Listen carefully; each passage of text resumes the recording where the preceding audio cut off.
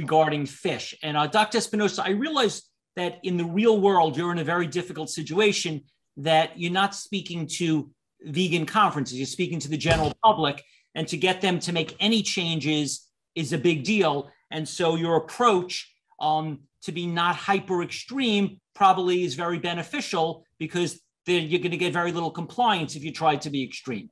However, for the purposes of just a person who's trying to be optimal diet to lowest possibility of getting any health issue, um, where what are your thoughts on uh, eating? What are all three of your thoughts on eating fish?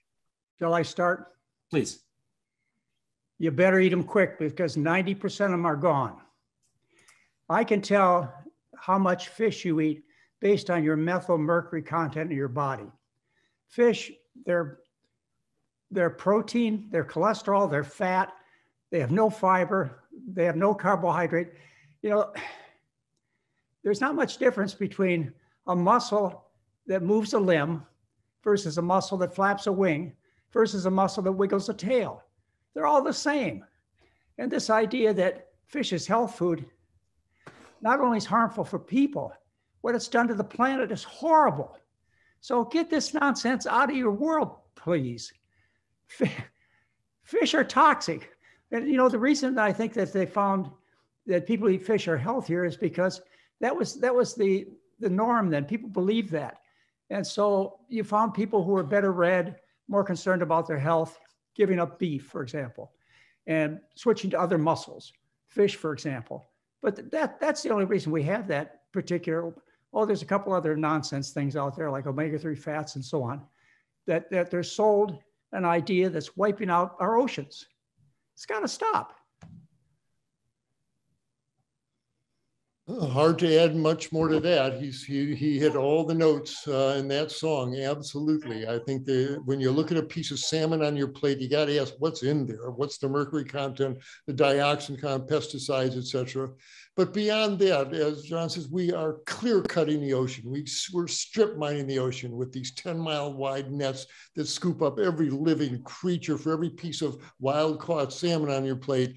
There's dozens of seabirds and dolphins and turtles and rays and sharks and whales that have been caught in those nets uh, and, and, killed off as by kill. Um, as he's saying, it's got to stop. We've no matter what role fishing played in human history in the past, hear this, we've used fishing up. We've used it up. The oceans are emptying out enough already. It's time to let the oceans heal. Let the fish off the hook already. Uh, uh, that's, you know, we used to do a lot of things. Uh, in the 1850s in Bedford, Massachusetts, the, the rock star guys on the wharf were the harpooners and the whalers. And boy, you used to go out and shoot, ram those harpoons into the whales' heads. Yay. My God, we look at that today and say, I can't believe we did that. Well, eating fish, scooping up all the cod and salmon, all that, it has got to be another one of those things that we used to do. But please, where there's going to be nothing left but jellyfish. And if the ocean dies, we die. And so enough with the fish eating. You get your omega-3s from plants just like every other animal does. Uh, but uh, we, we the, the, it's, we, we've used it up. Um, there, I can't see any rationale for continuing to eat it. And plus it's toxic, as John says, the more you eat, uh, the more toxic you get. Let, let them off the hook.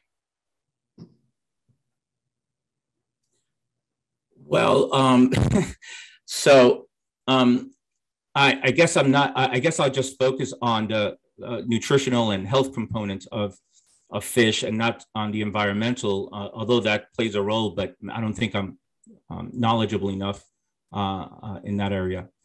Um, uh, so I think different. So I think some fish is essential and good for you, and I think that salmon is the best type uh, out there. Um, prove it. Uh, it's in the research that at least that I've read, um, and, and, at least for prostate cancer as well. The problem uh, there's very little mercury in salmon to none, depending on where you get your salmon from. So yes, the problem uh, is uh, with the type of salmon. So there is farm raised salmon that has BPA in it, and that when you go to a restaurant and you try to eat healthy and you ask for salmon, spinach, and brown rice, that's a very pro prostate cancer dish. Why? because the spinach is highly uh, filled with pesticides if it's not organic, particularly spinach.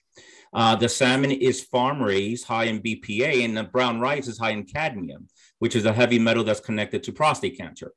Um, some brown rice is not high in cadmium. Uh, organic spinach is fine, and um, wild Alaskan salmon is the best type to eat. Um, so I do think there is benefit there. I do think there um, you can. The the problem that I find, and, and Steve, you said it fine uh, initially. Like I'm not dealing with the people that are healthy, so I have to start them off somewhere. And I think the problem I find is that oftentimes we sort of set, set them up for failure because we're asking them to do all kinds of things that I don't even think they need to do, like give up salmon as an example, or or some types of fish. Um, um, it's it's um, and the other problem with fish and salmon is overcooking it uh, as it relates to prostate cancer. Sorry that I have to stay in my in, in my uh, lane here. Um, um, cooking any animal be a product um, where there's uh, oh there's grilling and you know promotes these carcinogenic compounds. Um, that in, that situation includes salmon as well. So done the right way, it could be helpful. And certainly, most of the studies as it relates to prostate cancer and male health um, are positive towards the consumption of fish, primarily salmon, uh, uh, as a as a nutrient for for the, for those type of conditions. So, that's. I think a, a couple of things need to be addressed. You know, one is that fish is sold for its omega three fats.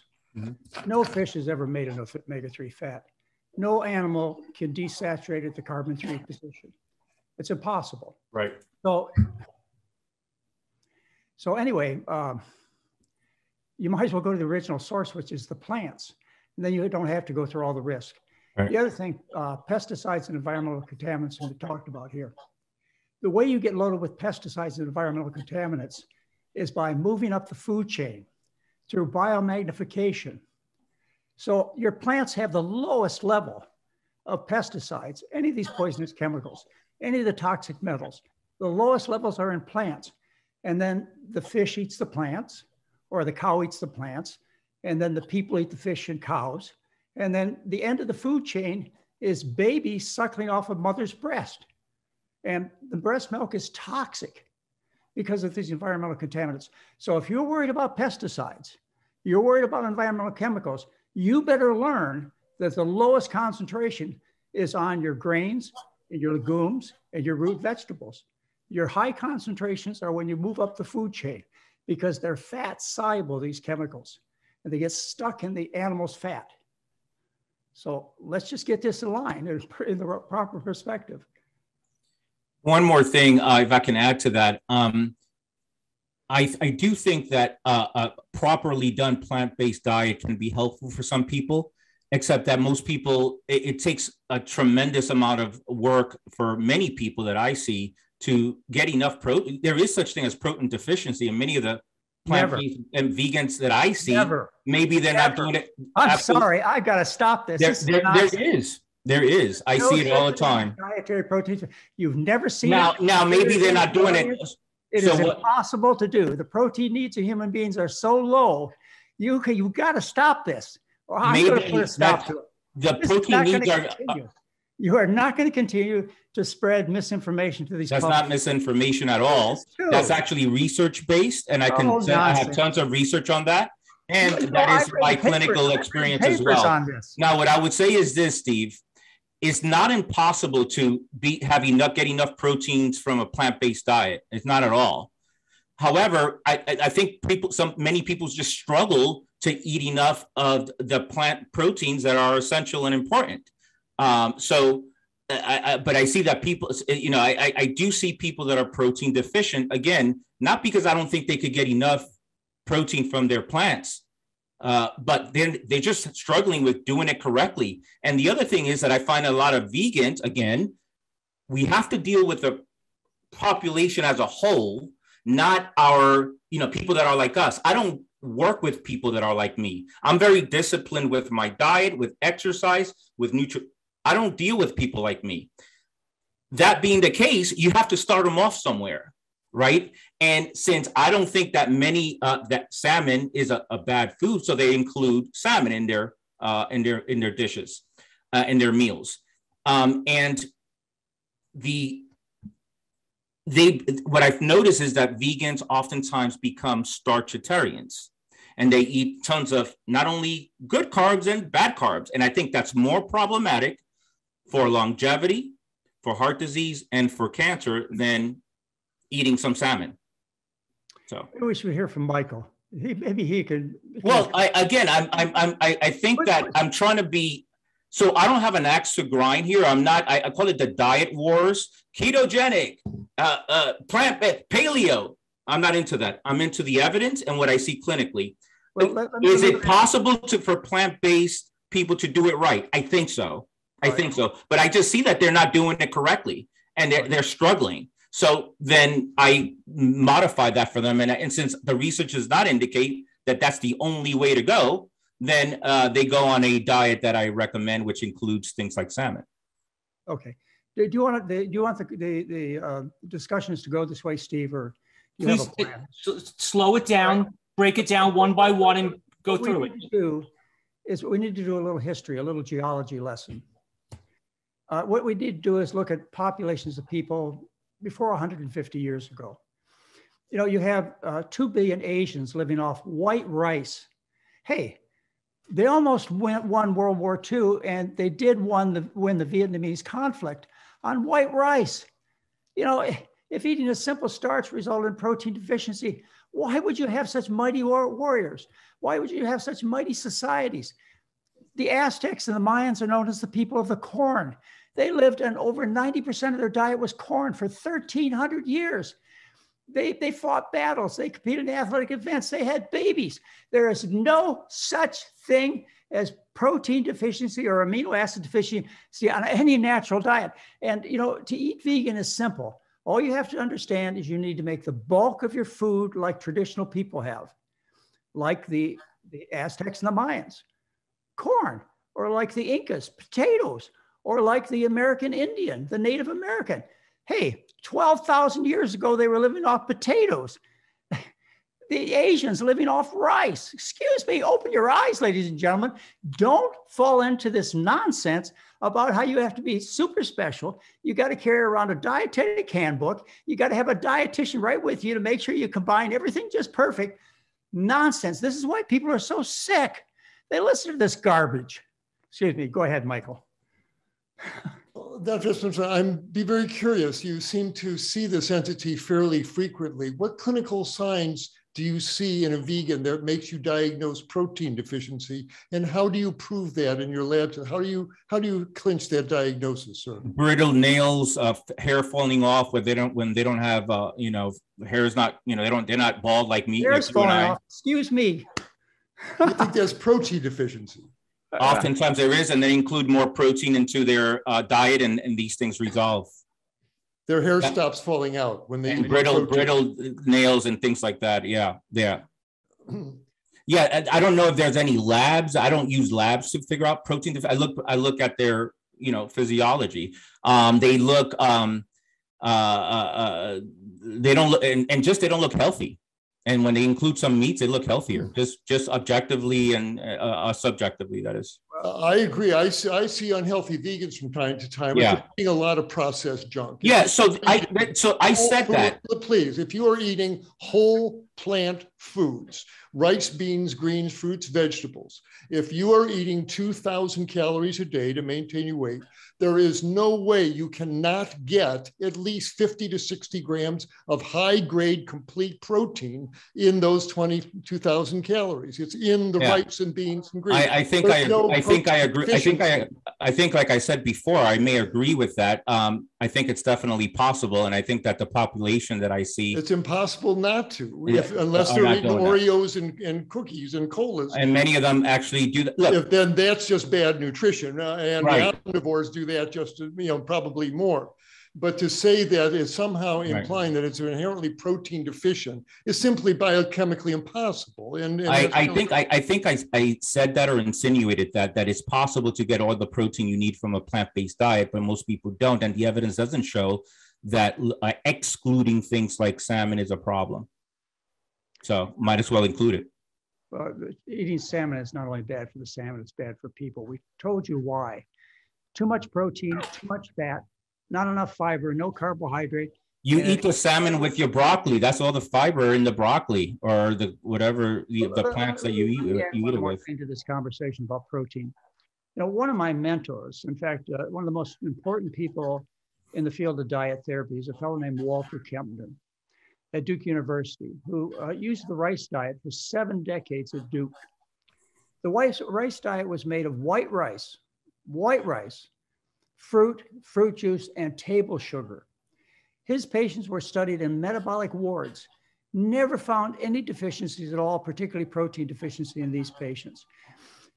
You know, scientists for 150 years have known that the need of protein in the human being is so low that it shouldn't even be considered. Why is it considered? Because you have industry selling through unique positioning their products because they're high in protein. If I say meat, you say protein. If I say eggs, you say protein. Even dairy, fish, you say protein. That's just a marketing tool. And unfortunately, if I had to pick one thing, one nutrient that has caused more death and disability to people than anything else, it's the protein myth. And that's the thing that's killing planet Earth right now, folks, is the belief that you need to eat cows and pigs and chickens and fish and salmon and other nonsense to be healthy. You're killing the planet. Yeah, you've killed yourself. That's that may be okay with you. But it's Yeah. not okay with me that you killed the planet by having this kind of nonsense go on. I'm not going to put up with it. So let's get it straight. Um, as people get older, they develop sarcopenia, and, and that's because they have a pro. That in part, that's because they have a protein deficiency as well, and they're not exercising maybe.